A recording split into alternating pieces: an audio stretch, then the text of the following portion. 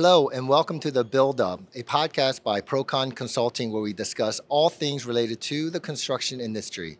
I am your host, Kyu Jung. Uh, we have a very special episode of the podcast this week. Right now, we are here at CMAA, the Construction Management Association of America National Conference here in sunny San Diego. This is truly one of our most important conferences where we can convene with friends, colleagues, and partners and learn from one another. Procon has been coming to the CMAA conferences for 10 plus years, uh, and we're so finally glad to be back in person and seeing everyone. On today's episode, we'll be joined by a very special guest. Earlier this week, I sat down with Ed Pogreba, Vice President of Construction Management here at Procon Consulting, and also on the National Board of CMAA to talk about the conference and how he got involved with CMAA. Uh, so let's get right to it.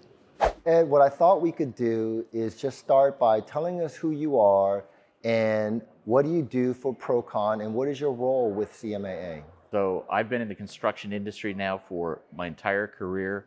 I've led very large teams at major CM providers, Bechtel, Jacobs, STV, and now Procon. And I'm delighted to be here. Today, I'm delighted to work with Procon and uh, mature our organization into a world-class CM provider. Now, could you tell us a little bit about what you do and how important CMAA has been in your career? CMAA is uh, a wonderful organization that I was introduced to back in 1995. And I attended my first CMA conference in the fall of 1996 and I really enjoyed what I'd learned at the conference as well as all the people that I've met in the industry.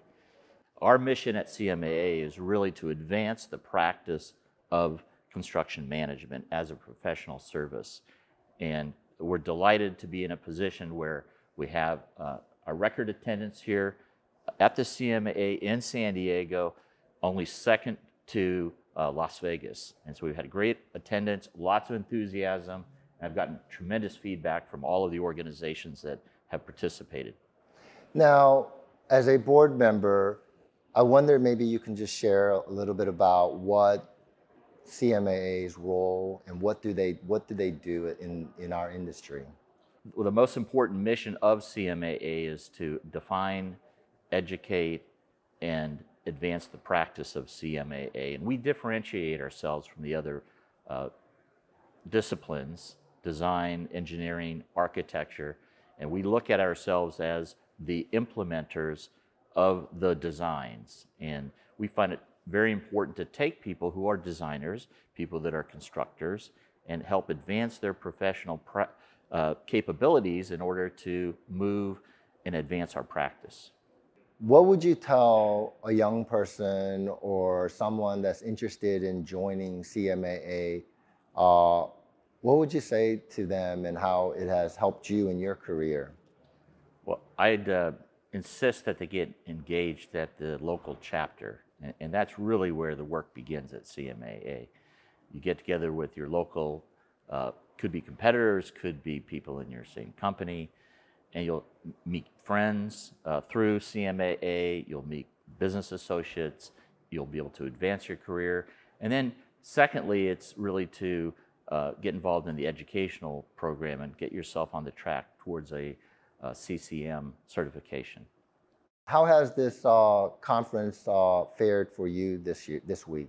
Uh, it's been busy. Uh, in addition to being a member of the board, I'm also on the uh, board of the foundation. And the foundation is very important because we are looking to advance people's education through scholarship help chapters uh, advance their chapter into a more prominent position. And so we give away money. And so it's a lot of fun to uh, go out and, and work with others in terms of um, the board members who have a lot of energy and have a lot of ideas on where we should take this organization. Well, speaking of where the organization is being taken, uh, what do you think of the new mission statement and the branding that I, I heard in, at the conference show this week?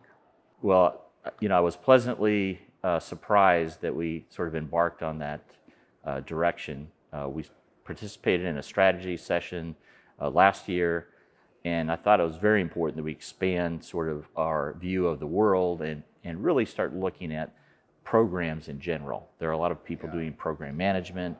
We had been so focused on the implementation of construction, but really we're out there facilitating programs, eh, design and construction. And so I think it's important that that be represented in our name and in our mission statement. I mean, you and I talked about this a few years back and how important it was to include program management as a major discipline for CMAA. And it was really nice to see that this year. And so uh, I don't know your thoughts. I obviously know that uh, you're a big proponent of that. But as far as the industry, I think it was well received to hear that. And, and really want to be inclusive as an organization. We're really looking to create a big tent where people that are affiliated with the business can join us. And so it doesn't really matter where you come from.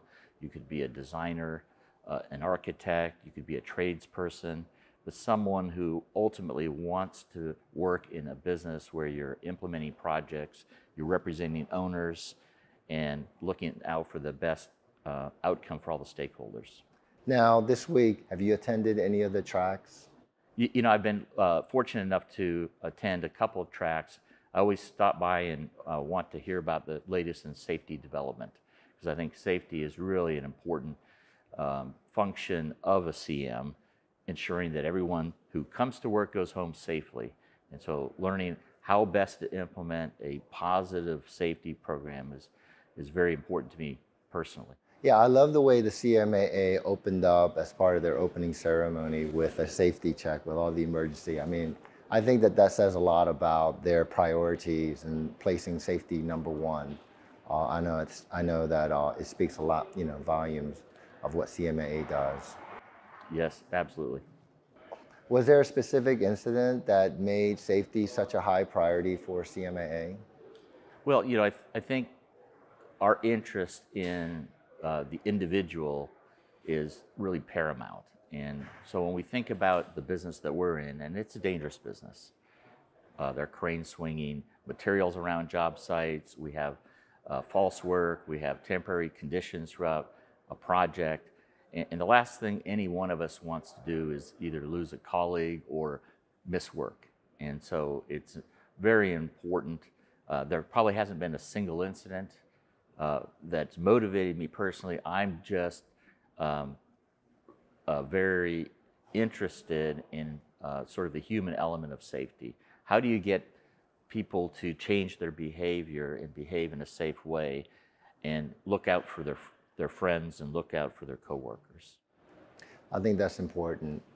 What was your most favorite thing that you did this week? Well, uh, for those of us who've been in this business for a while and have uh, relationships that sort of span the nation to catch up. And this is the one meeting point that we all decide upon and make it a point to connect and keep our relationship alive. So. Procon has a booth here at CMAA and we've gotten a chance to chat with a few people that have stopped by and given us their thoughts on this year's conference uh, let's hear from what they have to say. Hi, I'm Barbara Reynolds. I am a construction manager at Parsons Corporation, and I'm also the chapter president for the National Capital Chapter of CMAA. Uh, my name is Christine Goins. I am a PE and a CCM. I work for a company called S&ME. We're based out of Raleigh, North Carolina. Have about 30 offices east of the Mississippi. Main focuses are design, construction management, materials testing. I work particularly in the transportation sector, but we service all industries um, and lifelong, well, I should say industry career long CMAA member. So my name is Uriel Vidal. I'm from Spain. From I work at Modelical with Ruben here, and we are here at CMAA to see uh, how's the environment of project management, what's going on, um, what technologies. We are from the technology sector. We are uh, digital consultants back in Spain and we are here to know what's what's going on basically. And uh, my name is Sean O'Brien. I'm a construction manager for HDR, and I'm hoping to expand our network with a lot of uh, partners and uh, be able to learn how to do CM better for our clients. I'm Alan Drum. I'm the vice president of uh, uh, solution engineering for Asite here in North America. And we're here at the CMAA to uh, really provide uh, information about our platform, which we believe is unique. We help uh, really construction managers, owners, engineers, all everybody really within the built environment to help manage their data. So whether that's uh, electronic assets or you know managing data being collected from uh, execution in the field.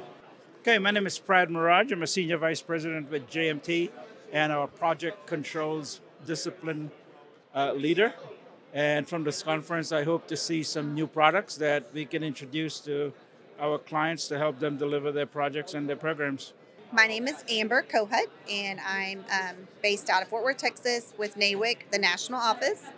Um, we were founded in 1953 by 16 women who chartered their very first chapter, the Fort Worth chapter. And then we grew from there. Now we're over 115 chapters. Our membership is just shy of 5,600 members. And we are just amplifying the success of women in the construction industry. My name is Ashley Bird. Uh, I'm a certified construction manager with ATCS. We're based in Herndon, Virginia. Um, currently working on all kinds of projects. I'm specifically working on some projects with the Metropolitan Washington Airports Authority.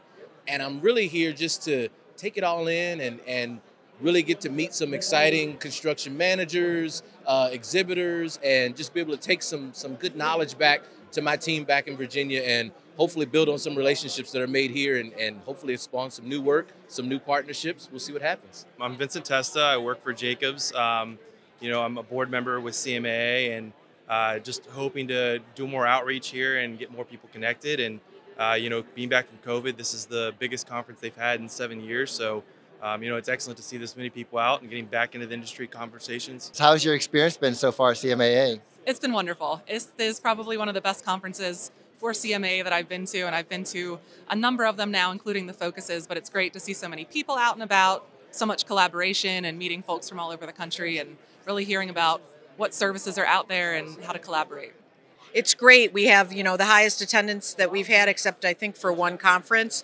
Lots of people here, lots of great education sessions. The new rollout of the CACM credential, it's it's been really good. For this conference, I, I love the conference. I just kept catching up with uh, our teaming partners and meeting new people and um, learning a, lot of good things at the education sessions. We've mainly just solidified relationships that we've had uh link in the past, but this is a great venue to get together with some of those people uh, that we see each year, uh, sort of like our friends at Procon. And uh, so we're very excited about that. It's been a very productive uh, session for us. We've done uh, you know, normally I come to a show and, and do a few demos. I think I've done 10 today. Okay. So it's been very active. And this year there's a lot more uh, diverse sessions that are on different topics, which is nice. Usually they focus on one topic or one one point they want to make, but this year it's very diverse and there's a lot of different opportunity to go and learn. Any noteworthy uh, things that you're seeing at some of the sessions or people that you've met? I really like the section about um, thinking out of the box when you're hiring people, not being stuck in the mentality that we could only hire people who are architects or engineers because myself i'm not an architect or an engineer but i bring a lot of wealth from previous experiences that i've had and that's what i'm looking for in candidates. Really innovation and looking to get outside of our box of our normal architecture, engineering, construction persons, and seeing what kind of talents we can grab into our industry to embrace that and then expand it and then really become that more of a diverse industry. So I see that's where we're headed. And if we don't do that, I think we're going to be left behind. So I think we, as leaders, as you are, as I are, we need to basically, you know, head that charge and I kind of see us as being on the on the cutting edge, leading edge doing that. So I've uh, learned how to do Excel better and scheduling, and uh, obviously the plenary sessions were pretty exciting. Well, we've seen that blockchain is the future. Uh, there was a very cool session on uh, the use of drones in construction management. Uh, dr- yeah, drones and uh, how it's not just taking photos, but drones can provide data data points as far as for survey control, uh, surveying ty- uh, different types of things, uh, uh, uh, creating a timeline of events on your construction projects. Cool products.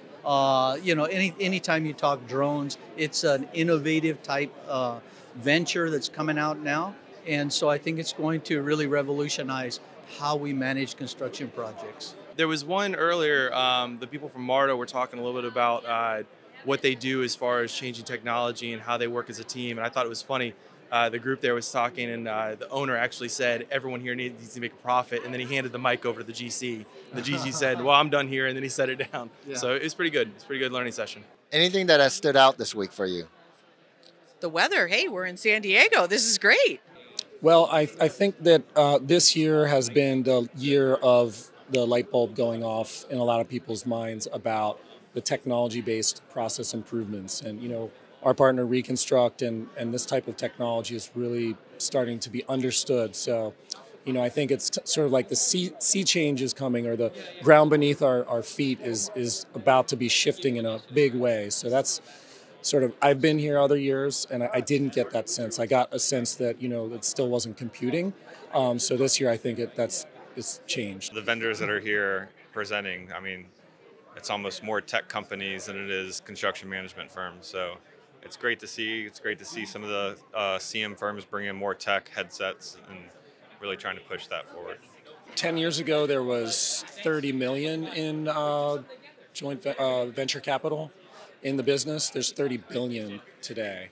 So that alone just tells you that there's there's so much of an influx of tech and you know this this old school industry is about to change and we've been saying it for years but it's really it's really going to happen yeah. soon I'd say the one big thing talking to everybody is, you know, some of the things, challenges that we're facing in the industry as far as staffing, um, which is a good problem to have because everybody seems like there's just a lot of work coming out. Everyone's going after contracts. And I think with those challenges, I feel like there's been a lot more collaboration between firms like, hey, how can I help you out? I got a need here. I got someone here available. Let's try to work something out. So it's good when we all get in one place because it makes those conversations a lot easier in person. Now, as a speaker, what was your presentation topic? Um, it was actually something that came about from the Focus 22 event in March in Chicago. So, had an after hours conversation about delegation, turned that into a presentation on the art of delegation. So, how to really optimize the folks in your organization, provide growth opportunities for them, and take the burnout out of your own workforce. Now, what advice would you give to any young person that wants to join CMAA, and what benefits that you would get out of being part of the, this amazing association? Um, I mean, just get online and go apply and do it. Um, it's it's a very straightforward application process, and as soon as you get involved, you start to get connected with people. So just get out there. You know, we're the premier organization for construction management. Um, every year we get better. We now have the CMIT credential for young people just coming out of college. We have the CACM for mid level people, and we have the CCM for the seniors. It, it's great, and I, I would encourage everyone that's interested in construction management to join this association. We, we really promote the CCM and the CMIT certifications. Um, it really gives you confidence as you go into construction sites that you're working with best practices, and uh, it gives uh, a common standard.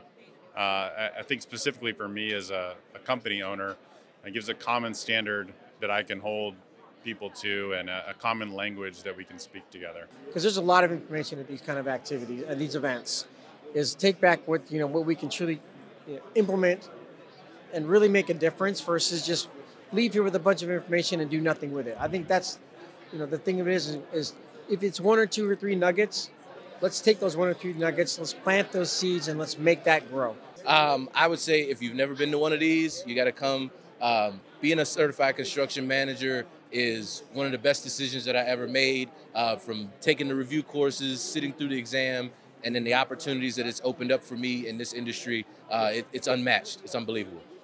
Thanks again to Ed for taking the time during a busy conference week to chat with me. To all our colleagues that were here with us, it was great to see you. If you're tuning in, tell us down in the comments below your favorite part of the conference. And if you have any suggestions for the next CMAA conference, we'd love to hear from you, so leave the comments below.